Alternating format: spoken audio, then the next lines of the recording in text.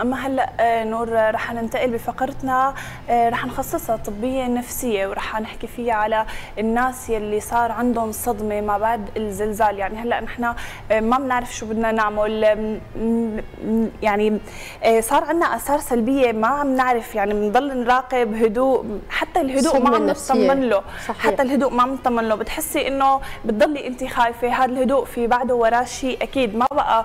يعني نحن نقدر نطمن 100% لازم نحس إنه بعد هذا الشيء بده يصير شيء فقد إيه هون نحن لازمنا دعم نفسي لحتى نقدر شوي نخفف من هي الآثار السلبية اللي تركها الزلزال بالمطلق عفاف الدعم النفسي كثير مهم. أساسا. نحن عشنا عشر سنوات من الحرب أكثر من عشر سنوات قاسية جدا. وهلا عم نعيش يمكن تداعيات الكارثة الإنسانية مؤلمة وقاسية. نحن اللي بعاد بدمشق كيف الناس اللي عاشتها متأثرين فيها؟ كيف الناس اللي عاشتها في حلب واللاذقية وحما خسرت بيوتها عوائلها؟ في ناس خسرت عوائل بالكامل. مؤلم جدا وقاسي اللي تعرضوا له. لهيك أكيد في صدمات نفسية قوية. كيف فينا نقدم لهم الدعم النفسي؟ طريقة التعامل مع الصدمة النفسية الأطفال الكبار. آه، بتعتبري بدها وقت أساسا طويل. صحيح. معالجتها بطريقة صحيحة ودعم نفسي صحيح يمكن نفس الوقت بنقدر فعليا نكسب هيدا الشخص ونأمن له فعليا حياة نفسية صحيحة. بنحكي أكثر عن هذا الموضوع. معنا الدكتورة كارلا جمال طبيبة متطوعة في مجال الدعم النفسي. يسعد صباحك. واهلا وسهلا فيكي. صباح الخير. شكرا على الاستضافة. صباح الخير واهلا وسهلا فيك آه، دكتورة هلأ آه، نحن بحاجة دعم نفسي. أوقات الأشخاص ما بيكون عندهم حدا يدعمهم نفسيا. يعني بتلاقي الظروف الوضع الاقتصادي المعيشي الاجتماعي حتى كله ضاغط عليه. فهون يمكن هو ما يلاقي حدا يدعمه نفسيا. فشلون هو بيقدر يعني قد إيه مهم هو إنه نعطيه نصائح قد إيه مهم هو يقدر يساعد حاله أو يدعم حاله نفسيا إذا ما حواليه حدا. تمام. هلا بعد أي صدمة أو كارثة إجباري الشخص بده يعيش هي الضغوط النفسية من قلق لخوف لتوتر. وطبعا استجابة شخص لآخر للصدمة هي مختلفة. صحيح. سواء بتأثير الصدمة عليه أو استجابته وتعافيه منها. بتتبع لكثير معطيات سواء سابقة نفسية أو تعرضه لصدمات سابقة. آه، مجموعة نصائح ممكن الشخص يتبع خاصة الأشخاص المتضررين بس البعيدين نوعا ما على الحدث. هن آه، مشاعر الخوف ومشاعر القلق أحيانا كثير بتسيطر على العقل. فنحن لازم نستبدل هي الأفكار السلبية بأفكار إيجابية ونستبدل السلوكيات يعني مثل دائما بالخوف سلوكيات إيجابية. هلأ كثير نحن عم نشوف هلأ على السوشيال ميديا ومواقع التواصل الاجتماعي تهويل الأخبار وعم بتصير في كمان شائعات كثير وال مؤلم للأسف. هي الشائعات نحن عم ننوه دائما عبر آه، رحلاتنا الصباحية. أي حدا ما عنده معلومة صحيحة لا ترتكز لا لمختص لا لمركز أبحاث لا لا اي حدا يعنى بهذا الشأن. يجب عدم نشره عبر آه، وسائل التواصل الاجتماعي. مؤلم جدا اليوم اللعب على مشاعر الناس قاسي جدا. لهيك أي حدا ما عنده معلومة صحيحة لا ينشر الإشاعات عم تأثر بشكل سلبي. بس خلينا نحكي نحن عن الصدمة النفسية. بعد حادثة الزلزال بنعرف نحن الآلاف من الناس تعرضوا لهي الكارثة الإنسانية ونحن موجودين على مدار الساعة. عم نحاول نغطي تداعيات هذا الزلزال تقديم المساعدات والعون واهمها الدعم النفسي. بعد آه، هي الحادثة أكيد في صدمة نفسية. والصدمة النفسية تختلف. شدتها في قوية الشدة متوسطة خفيفة حسب الشخص شو تعرض له. خلينا نحكي عنها. طبعا الصدمة النفسية بعد الأزمة ممكن بمر الشخص بمراحل بمراحل الإنكار الغضب المساومة بعدين إيجاد الحلول. هلأ في كمان شيء اسمه اضطراب بعد الصدمة. كمان للأسف كثير أشخاص هلأ عم تشخص حالها بهذا الاضطراب. إذا نحكي شوي عنه كرمال فعلا الواحد ما يتوهم إنه هو معه هذا الاضطراب. هو بيصير عند الشخص مجموعة من الأعراض النفسية والجسدية. بتبلش بذكريات ببلش يسترجع مشاهد الحدث سواء بصور أو بسماع هي الأصوات اللي كانت بالحدث. بعدين بيمر مرحلة التجنب إنه هو بيتجنب بصير المكان الحدث أو الأشخاص اللي بتربطه بالحدث أو النقاش بهاي الصدمة. بعدين بيمر مرحلة الأفكار السلبية بنلاقي إنه هو عم يبلش يبتعد عن العالم يبتعد عن رفقاته يبتعد عن عائلته بلش مشاعر القلق والخوف وبحس سلبية تجاه حاله وسلبية تجاه الآخرين. بعدين بنلاقي ببلش في اضطراب بالنوم واضطرابات بالشهية آه، وممكن توصل لأفكار وسواسية وانتحارية. هلا هون ضروري الدعم النفسي آه، يتدخل سواء هو يدعم حاله نفسيا بإنه يحاول يحفز حاله يظبط نومه يظبط جدول جدول نهاره يحاول يتحكم بحياته قدر المستطاع يبعد عن السوشيال ميديا يبعد عن الأخبار آه، نحاول نضبط استهلاكنا لوسائل التواصل وخاصة فترة الاستيقاظ أو قبل النوم. ما نعرض حالنا للأخبار الكثيرة.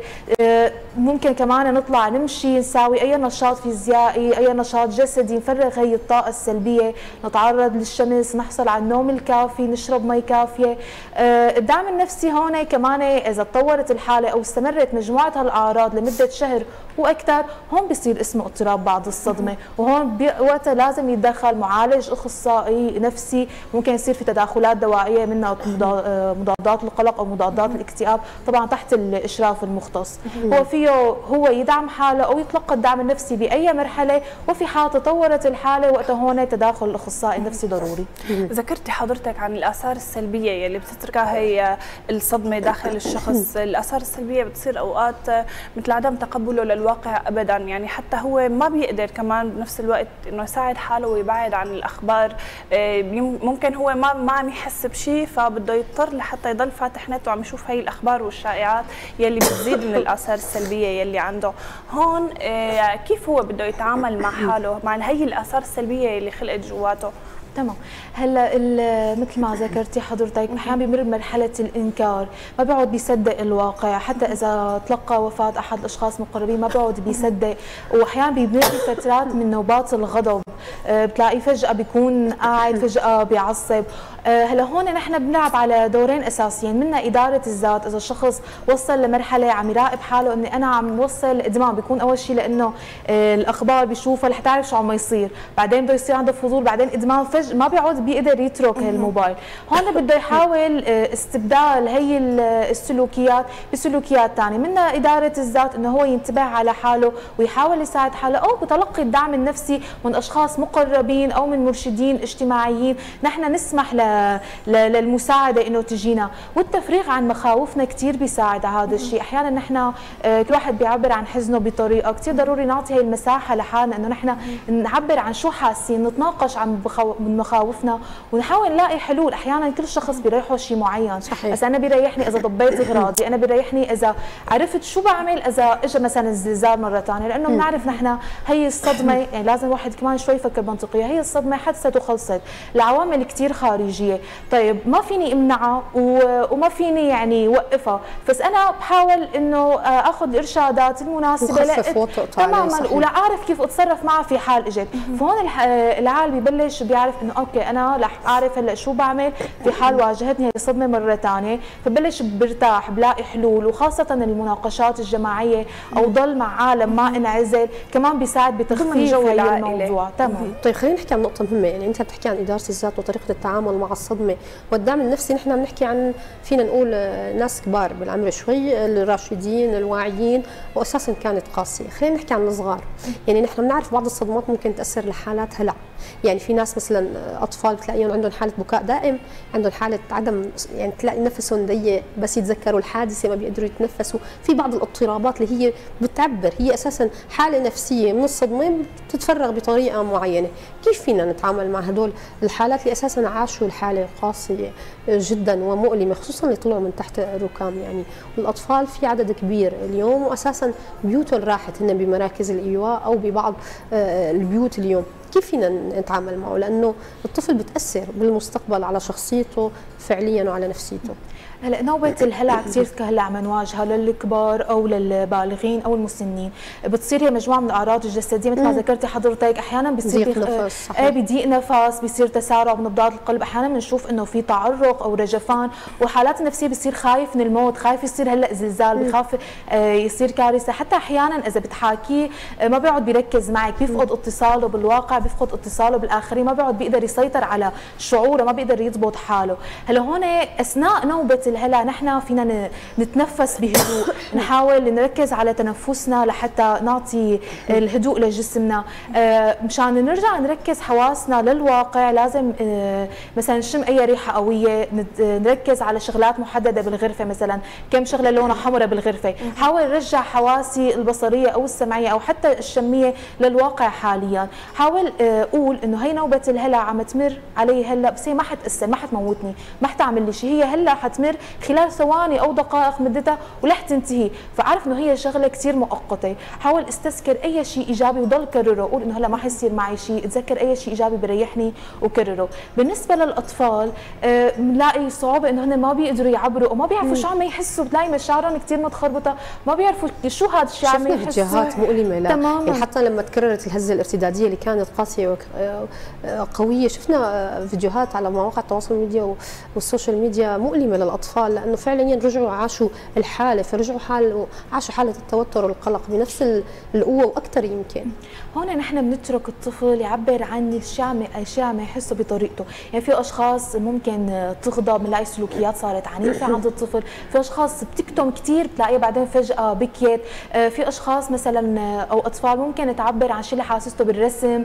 أو ممكن نحن لحتى نخليه يفرغ هذا الشيء اللي عم يقوله. نحن مثلا نقول له احكي لنا قصة. شو صاير مع مثلا شو بتعرف قصة عن طفل؟ بلش هو بيخترع لنا قصة عن طفل ثاني نفس حالته عم يحكي قصته بس على اسم طفل ثاني بلش بحكي لك هو شو عم يحس. الطفل بصياغة ثانية ونحن ممكن نطلع بحلول من خلال هو حكيه لهالقصة. حتى ممكن يحكيها مع طفل ثاني يعني هلأ لما بنجمع الأطفال مع بعضهم وبنعمل لهم هي الجلسات مع بعضهم كثير بيساعد. انه بيلاقوا أقران له أطفال له عم تحس نفس الشيء بس ما بتعرف تعبر عن هذا الشيء. بجوز عم يحكوا مع بعض يحكوا قصص يرسموا من هيك بنخصصهم هي المساحة الآمنة. كثير ضروري نحن كمان ما نكبتهم يعني ما نقول لا ما بصير تخافوا كل شيء منيح لا معلش نخليهم يعبروا عن الشيء اللي بدهم هن يعبروه. هي كمان بترجع هي المسؤولية على الأهل. يعني إنه هن لازم يديروا بالهم على الطفل لازم تكون عندهم كل هي المعلومات والوعي والإدراك على شو هن لازم يتصرفوا. بس في بعض الأهالي ما عندهم الوعي الكافي أو طريقة صحيحة للتعامل مع ردات فعل الطفل أو حتى مع أنفسهم أحيانا. والوضع الاقتصادي كمان ما بيساعدهم يروحوا لعند أخصائيين نفسيين أو لحتى يتلقوا الدعم. فهون أكيد في مراكز ممكن هن يروحوا عليها. فينا نتذكر بعض المراكز مشان اللي ما عنده قدرة يروح. تمام. هلا بس بدي اضيف شغلة. هلا ضروري كثير نحن نحتضن الطفل يعني بالمعنى الجسدي بالمعنى العاطفي. أنا كثير ضروري أحسسه بالأمان. ومهم كثير إنه أنا ما أحكي له شغلات مو حقيقية. يعني أحيانا نحن بنفكر إنه بنتبع أسلوب مع الطفل إنه بيسألنا شو هذا الزلزال؟ ليش هذا الزلزال؟ بلش نخترع له قصص إنه عس... كرمال ما نعرضه للواقع الإلي. ولكن نحن كثير ضروري نكون صادقين مع الطفل. يعني نشرح له الشيء اللي صار بحقيقة بس بمصطلحات وبطريقة مبسطة على حسب عمره. يعني أنا ما أحكي شيء من نسج الخيال لا صحيح. أنا خليه اعامله كطفل لأنه هو رح يحس. وإذا حس إنه أنا عم بكذب مثلا عليه أو عم اخبي شيء رح يفقد هي الثقة رح افقد هي العلاقة بيني وبينه. بالإضافة إنه أنا ما اعطيه وعود كاذبة يعني أنا ما امله بشيء ما له ما حيصير سواء للأشخاص اللي بقلب الحدث أو البعيدين عن الحدث. دائما لما أنا بدي أقول شغلة كون صادقة فيها عرفاني أنا رح أقدر إنه نفذها يعني. في هلأ كثير سواء منصات اجتماعية أو منصات أونلاين يعني عم تقدم دعم نفسي وعم تكون حاضرة بمراكز الإيواء أو حتى يعني على مواقع التواصل الاجتماعي وعم تكون كثير عم تكون كمان مجانية. فأحيانا بتليفون واحد ممكن الأشخاص تعبر عن مخاوفها وتلاقي حلول لحتى تساعد حالها وتساعد العائلة أكيد في مبادرات كثيره للدعم النفسي استضفنا العديد منا وكثير متطوعين مثل حضرتك مختصين أكيد نتشكركم بالختام على جهودكم اللي عم تقوموا فيها والدعم النفسي جدا مهم. يعني قبل كل شيء الدعم النفسي هو الأساس. يعني فينا نقول هي العوامل الأساسية للاستمرار فعليا وتخطي الأزمة. شكرا كثير لك شكرا لك. شكرا كثير لك دكتورة كارلا. أهلا وسهلا فيك